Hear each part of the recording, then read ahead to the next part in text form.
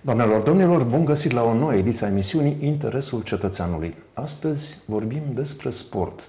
Vorbim despre un sport care ne privește pe toți. Este interesul nostru ca să creștem campioni, să avem performanțe în Maramureș, fiindcă întotdeauna Maramureșul a avut performanțe în sport, în vari domenii din sport.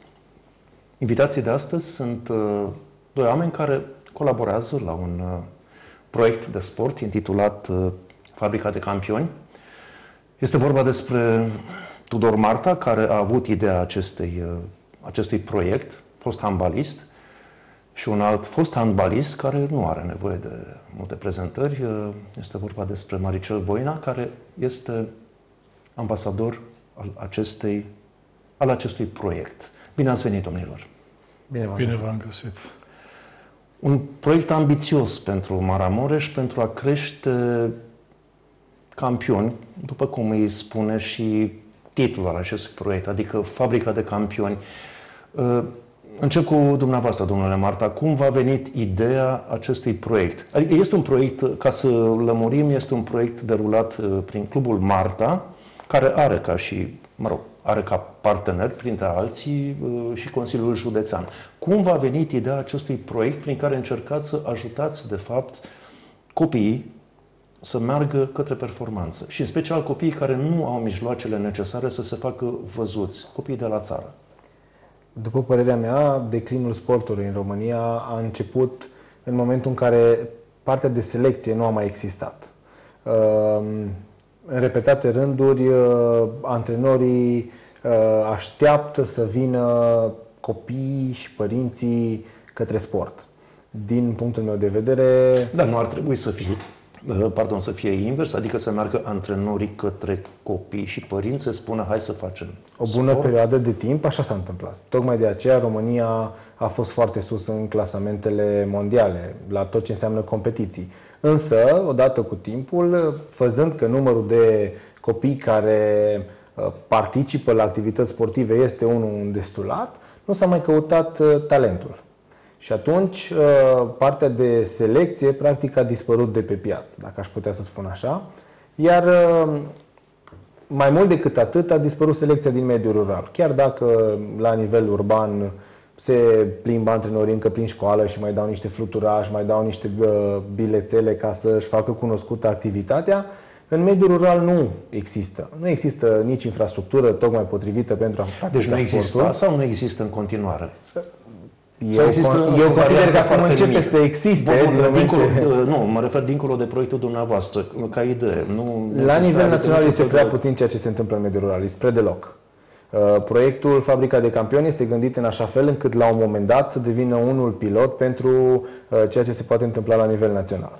Avem nevoie să ne îndreptăm ochii către copiii din mediul rural, și practic de acolo și ideea aceasta de a ne îndrepta efectiv către, către mediul rural. Bineînțeles, noi avem și activitatea zilnică în Baia Mare, dar uh, avem un ochi către cei din mediul rural, către cei copii care nu au unde să facă sport sau nu-și permit să facă sport sau nu au avut nici măcar tangență cu sportul. Poate au văzut doar la televizor. Iar părinților uneori cu atât mai puțin. Corect. Domnule Maricel Voina, cum ați primit acest uh, proiect? Când vi s-a propus să fiți, practic, ambasador, unul dintre ambasadorii acestui proiect, care este unul generos și este un proiect, uh, de altfel, și ambițios, adică să scoatem uh, valori la lumină. Da, în primul rând, uh, mi-am dat seama că este o idee foarte bună, că le dă o șansă copiilor de la țară care nu au posibilitatea să... La țară, clar, nu se face sport, la școli, educație fizică mai puțin, deci copiii din mediul rural nu au multe șanse să facă sport. Deci m-am gândit, zic, uite, ce o idee foarte bună, zic că și plus că sunt șase ramuri de sport, nu numai handbal, este fotbal, fotbal da, feminin, atletism, atletism handbal, voleibal, deci da, copiii de la țară deci au o șansă asta acum să fie selectați, să fie triați, să meargă să-i să-i adune și să... Să vadă cineva să... cu un ochi priceput cum ar veni. Bineînțeles, nu? clar că se merge cu antrenor și antrenorul vede. Are calități pentru fotbal, are calități pentru vole, atunci îi selectezi pentru orice, pentru sportul adecvat.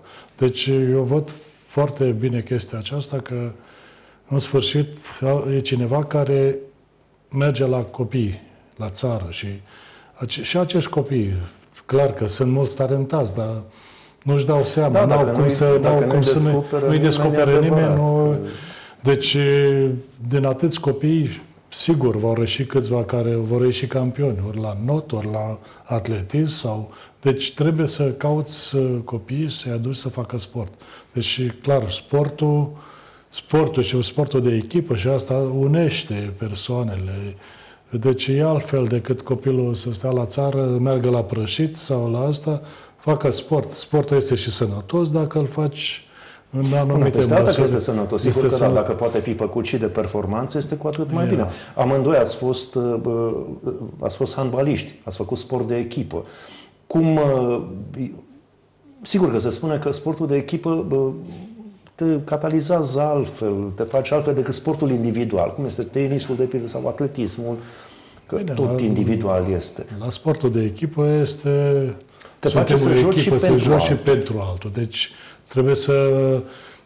Uh, cum să vă explic? Deci la handbal nu ai în fiecare, la fiecare meci dai acele rezultate, mai ai și timp, mai, mai joci bine, Sunt mai joci... Scăderuri, deci, cușuri. Scăderuri, da. cușuri. Deci atunci ne compensăm unul pe altul. Deci jucăm la sportul de echipă, deci asta este foarte important, că nu ca la individual. La individual trebuie să te pregătești. Individual, dacă, pier, dacă prinzi o zi proastă, atunci se, se, se termină totul, da. se duce totul. Deci, Într-adevăr, la sportul de echipă este altceva. Joci joc, prost astăzi, dar poate joacă celălalt ceilalți. Sau ceilalți. Bine, deci da. sunt chestii care și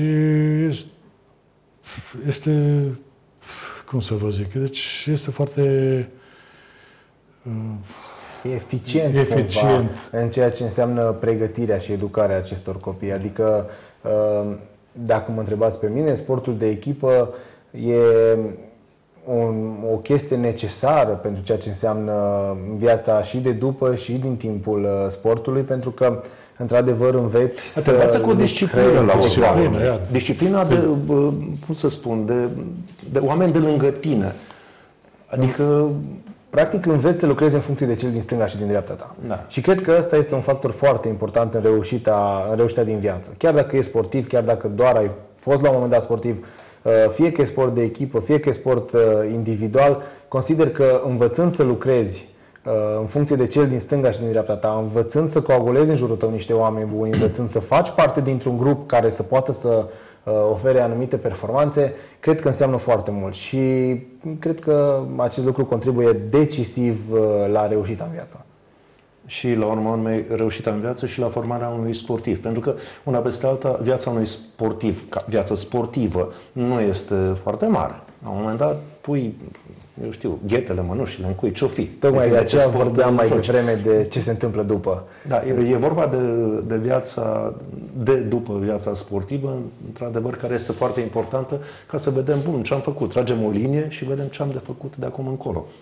Revenind la, la proiectul dumneavoastră, l-ați lansat oficial la sfârșitul lui septembrie, în 29 septembrie, dacă nu mă înșel, la sala polivalentă la Scărpană.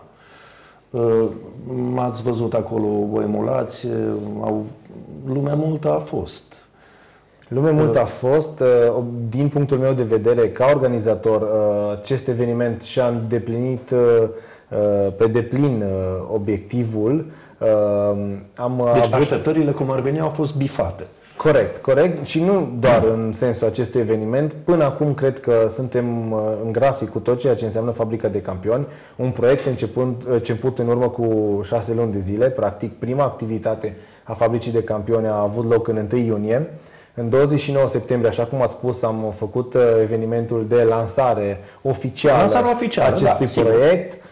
Se procedează am avut chiar dacă începem înainte da. proiectul, nu e niciun fel de problemă. Am avut alături de noi uh, oameni de sport extraordinare, ambasadori ai fabricii de campioni, printre care și domnul Maricel, care a făcut niște eforturi să fie alături de noi și, și îi mulțumim.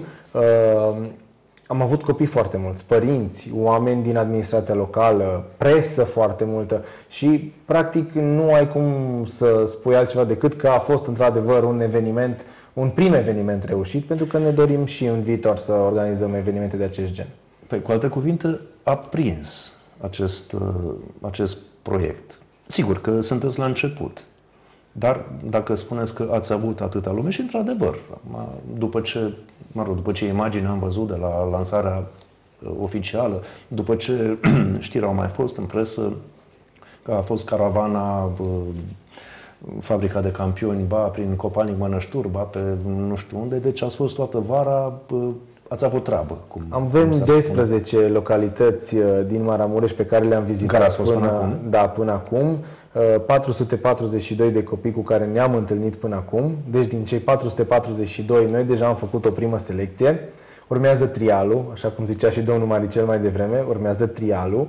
Bineînțeles că ne dorim să vedem și un anumit progres uh, la acești copii pe care noi îi vom selecta și în funcție de acest lucru vom putea să creăm niște indicatori care să decidă efectiv asupra uh, angrenării lui în activitățile, angrenării copilului da, din mediul rural normal, în activitățile adică noastre. Vezi și cam care este talentul unui copil. Cel mai important și este parametrii lui și mă rog, nu ne oprim.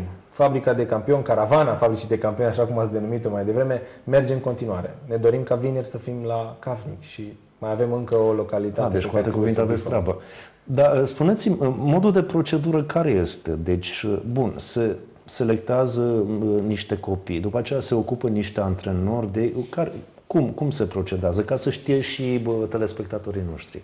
În prima fază ne ducem și ne întâlnim cu acești copii. Acești copii au șansa la activitatea noastră din uh, localitatea lor de a uh, trece prin fiecare, uh, fiecare ramură sportivă pe care noi o avem în fabrica de campioni. Într-adevăr, la ramura de not lucrurile stau destul de dificil și vom încerca să organizăm separat niște, niște selecții în județul Maramureș. Scuzați pentru că... Scuzat în fie, la ramura în not stau greu, greoi lucrurile și la campioni, vorba aceea, că n-au unde să se antreneze.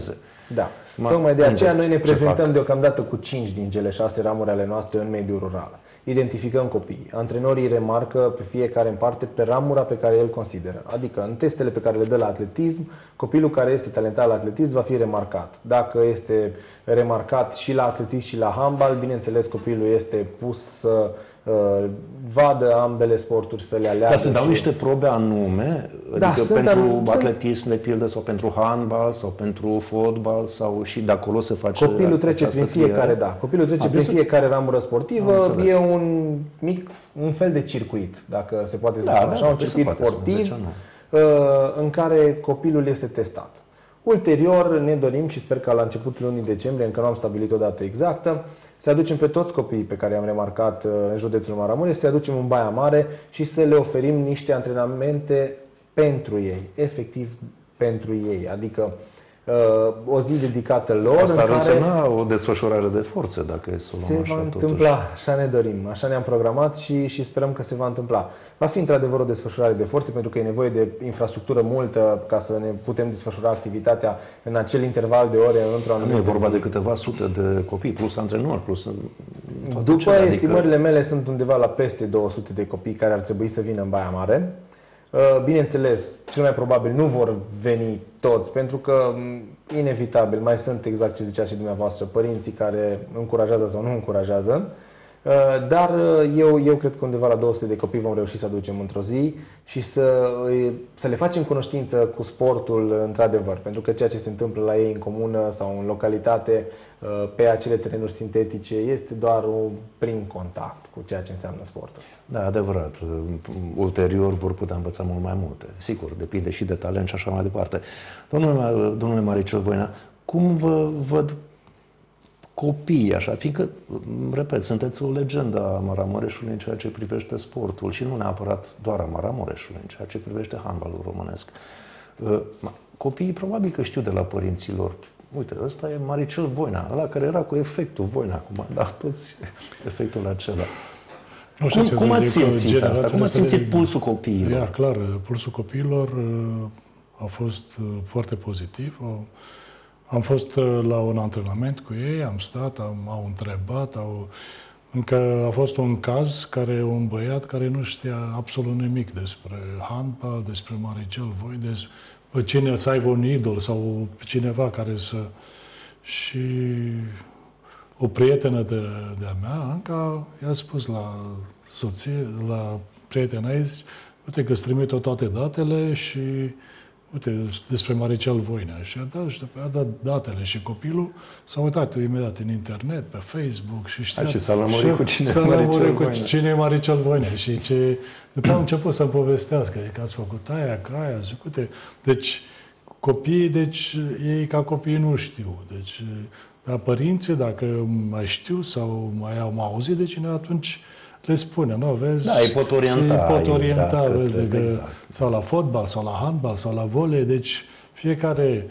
Și deci vă dați seama că copilul s-a, a studiat și a văzut ce am făcut eu sau ce asta și păi, era, era tare sur, surprins de rezultatele mele și așa, și poate și el și-ar dori să, să facă chestiile astea. Deci fiecare copil, cum și eu, cum, ca copil aveam și eu un idol. Ziceam, nu, zic, aș vrea să fiu ca, Să Constantin, ajungeți Tu- ca- ca, da. Constantin Tudose.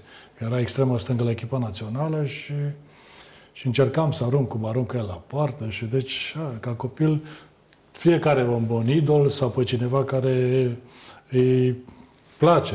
Da, important este că a fost, uh, mă rog, copilul pe care îl dați dumneavoastră, de exemplu, uh, important este că a fost uh, orientat și uh, a vrut să Ia, știe. și da? să deci știe a, a, și- i-a păsat cum i-a ar păsat, veni. i-a păsat și deci, ia, vine să joace handbal. Deci, ă, asta este ceva pozitiv, că copiii, clar, că în ziua de azi nu mai...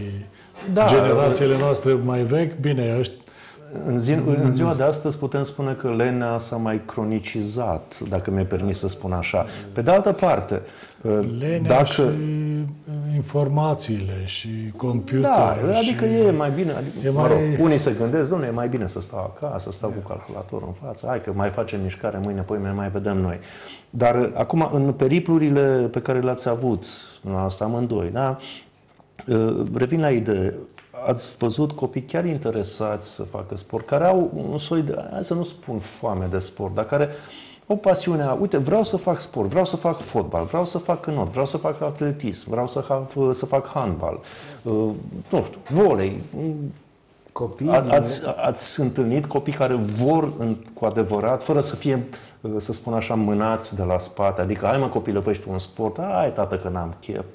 Deci ați văzut copii care vor să facă asta? Uh, De exemplu, la deschidere uh, s-a jucat și handbal, și fete, și băieți, și fotbal, și am văzut câțiva copii și fete foarte talentați. Deci ați văzut bucuria pe- Bucuria, bucuria în pe jocul ei, ăla, cum încerca să arunce la poartă, să dea goluri, să... Deci, deci vezi pe copii că sunt și unii care m, nu prea... Acum știți cum e, ca în viață. Ca în Pot să viață. mai dau cotită, mai se întâmplă. Și erau foarte, foarte mulți copii de la partea de handbal au și fete și băieți foarte talentați și foarte au încercat, să, Care au încercat să, încerca să- să facă, să, deci Dar ăsta e așa un se amănunt prinde, așa se important. prinde la Da, început. da. Deci că nu știu ei ce e la handbal până își să dribleze, să arunce la poartă, Așa deci se- numai așa e de, așa se de prinde joc. microbul sportului, cum ar microbul veni. sportului, da, deci De la copilul dat exemplu mai devreme de domnul Maricel, acela care a căutat pe internet să vadă toate informațiile a- pentru ceea ce urmează să-i se întâmple la antrenament, pentru că, da, într-adevăr, am avut o întâlnire care, din punctul meu de vedere, a fost deosebit de emoționantă. Acei copii, uh, pentru că unii dintre ei deja cunoșteau, unii dintre ei încercau deja efectul Maricel și au cunoscut idolul, adică s-au întâlnit în carne și oase cu omul care a, a reușit să impresioneze o lume întreagă prin procedeul pe care l-a inventat. Și atunci, de la acest copil care a știut să facă un research pe internet până la copilul din mediul rural, care are 10 ani, sunt 11 frați, trăiește într-o baracă și își dorește să facă box, cred că aici este o paletă foarte mare de culori uh, și anume, uh, cred că aici este ceea ce înseamnă sport. Pentru că, așa cum ziceați mai devreme, copilul acela din mediul rural își dorește să se evadeze. Copilul din mediul urban are deja modelul lângă el. Și practic aici apare fabrica de campioni. Acolo unde descoperă copilul din mediul rural, care își dorește efectiv să evadeze din sărăcie, din greutate, din probleme. Da, pe care apăsările le are de zi cu acasă, zi, cum ar veni. prin talentul lui pentru sport. Și să ajungă aici, în mediul urban, unde să-și atingă idolul, unde să-și întâlnească idolul. Um, Cred că aici există o, o, o discuție destul de amplă pe care o putem avea pentru că acești copii, într-adevăr, își doresc să aibă modele.